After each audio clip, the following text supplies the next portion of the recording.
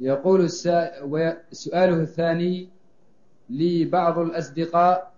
عادوا إلى مجتمعاتهم دون ترك عقيدتهم الباطلة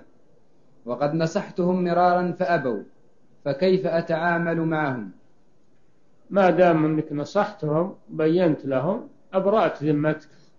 واتركهم اتركهم ابتعد عنهم وأنت نصحتهم وأديت الذي عليك والزم الحق في نفسك واسأل الله الهداية لهم والتوبة لهم نعم